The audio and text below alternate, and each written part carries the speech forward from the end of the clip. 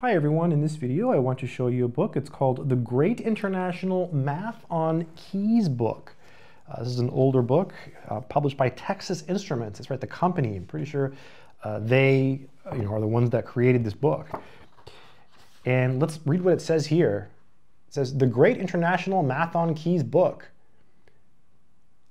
Getting together the basic information, formulas, facts, and mathematical tools you need to unlock all the power of your handheld calculator at home, in school, or college throughout your everyday life.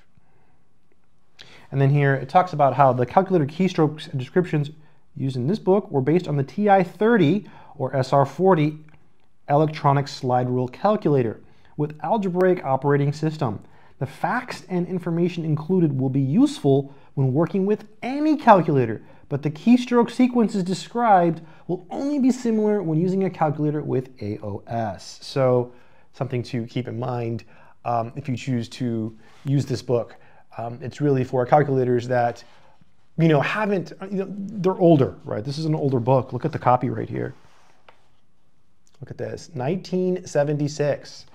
Uh, this is the first edition. Um, I don't know if there are more editions, and there's that guy there. so and then here are the contents. Basic keys. Starts with basic keys. So you have some basic keys here. Look, look, square and square root keys. And you know, we, we still have, you know, the pi key.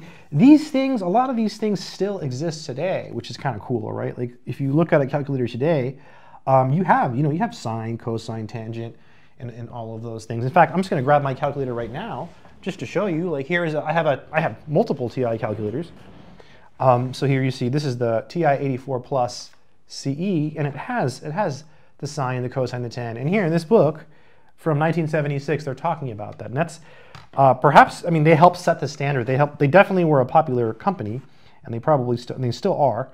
Um, but I don't know, you know, I don't know how it was in the 70s. You know, I don't, you know, I, I, I'm not from that era, so I don't know what calculators were the best, what calculators were the worst.